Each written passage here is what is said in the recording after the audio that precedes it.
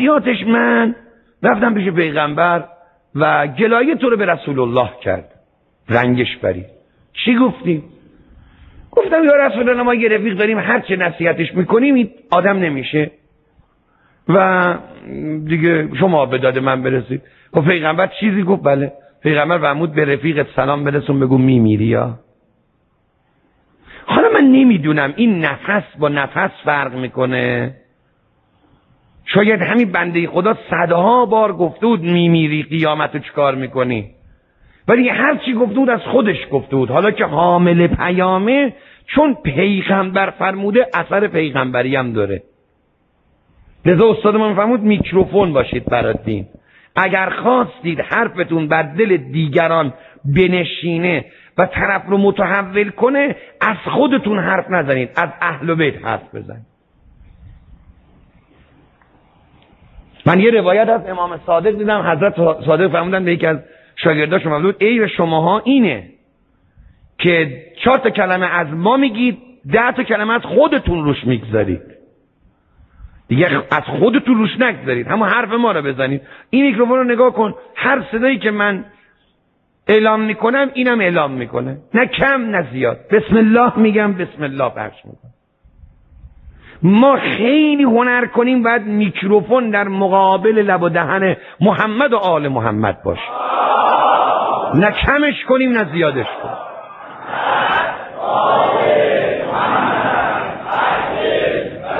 شروع کرد لرزیدن و گریه کردن و توبه کردن و میگن از عباد زمان خودش.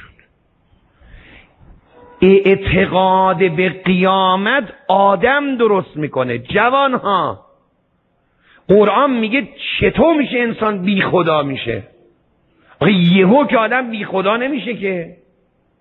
از کجا شروع میشه؟ از همین باورها شروع میشه. برو بابا. چه قیامتی؟ چه حسابی؟ چه کتابی؟ کدوم مرده رفت و برگشت؟ آ اینا اینا خطرناک. خدا بیامرزه. پدر ما میفرمودن دو نوع را پله داریم.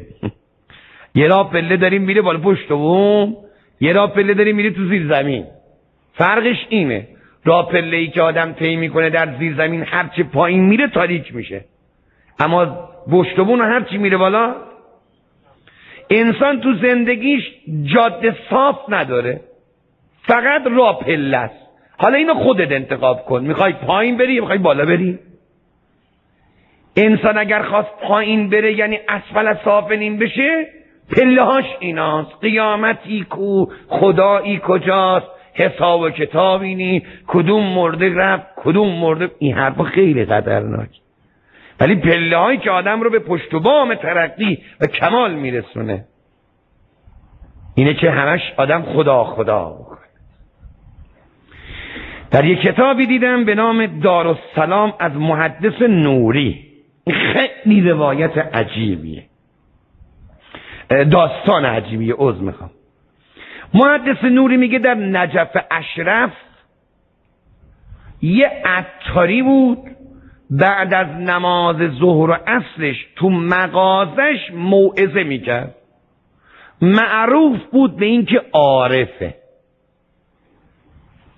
حرفای قشنگی می‌زد. این چهار تا هم مریدش شده بوده محدث نوری میگه مغازه این آقای عطار نجفی همیشه پر بود از مشتری. ولی نه اینکه بیان عطر بخرن. میمدن که موعظه بشنون.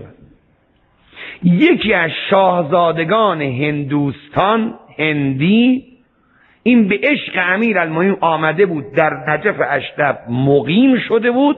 یه مسافرتی براش پیش اومده بود. کسی هم نمیشناخت.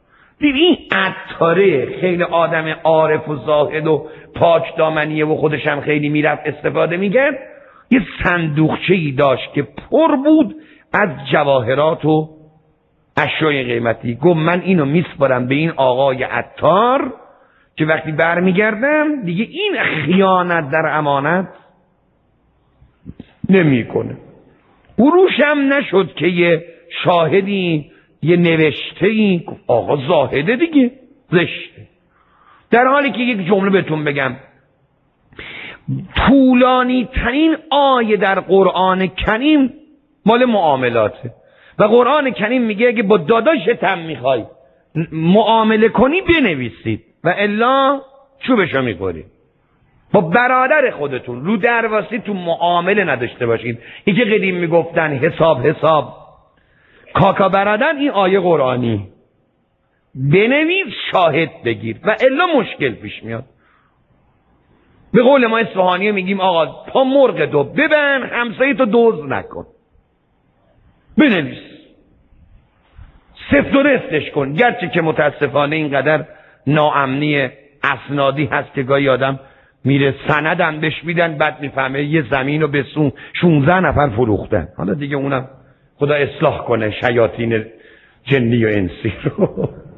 که چه کلاهبردارایی تو جامعه پیدا شدن.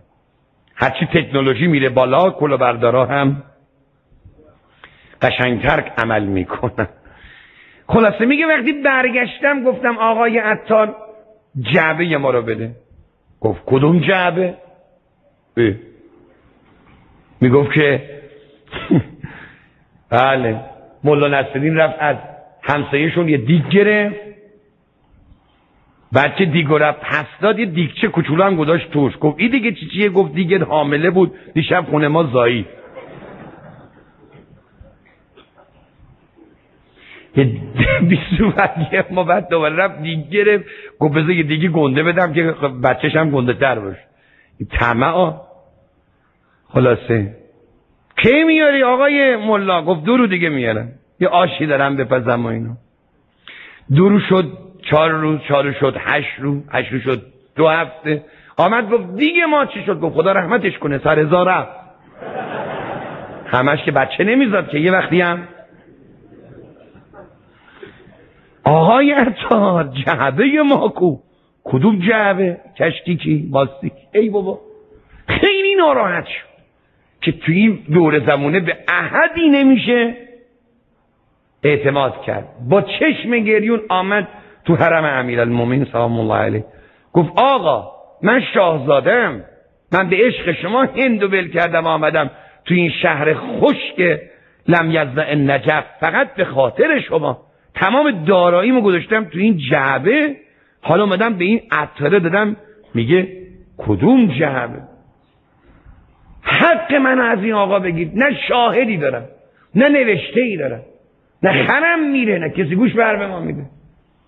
گریاشو کرد آمد خانه. محدث نوری می‌دونید محدث نوری از بزرگان شیعه است. میگه شب خواب امیر المؤمنین رو دید.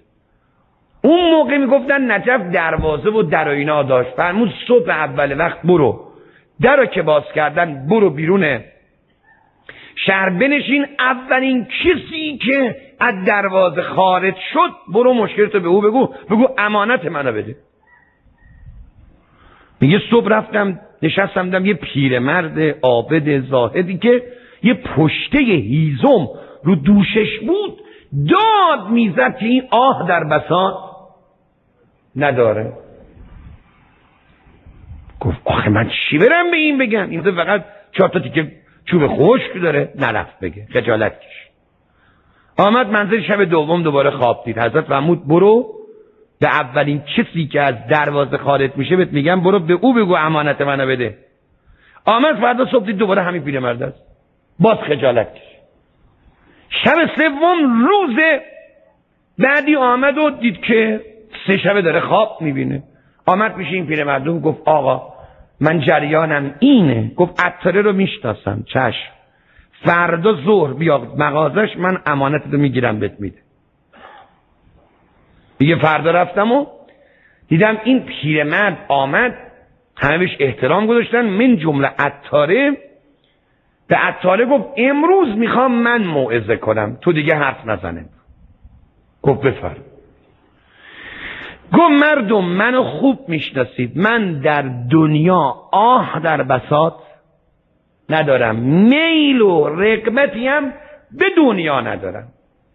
دیگه من هشتاد سالمه یه عمره. حالا اگه جوون بودم می‌گفتن اول جوانیشه بازی کردنشه فیلم بازی می‌کنه. یا نه فردا خسته میشه دوباره راش عوض می‌کنه. دیگه من بعد هشتاد سال دیگه چیکار بکنم؟ می‌دانید عمری سیزم شکن بودم. خدارم قانعم قانع. و به خدا باور دارم که هر آن کس که دندان دهد نان دهد منم به اندازه اون چی که بهش نیاز دارم زحمت بکشم خدا هم میرسونه. اما یه قصه ای برام افتاده می‌خوام اینو براتون بگم.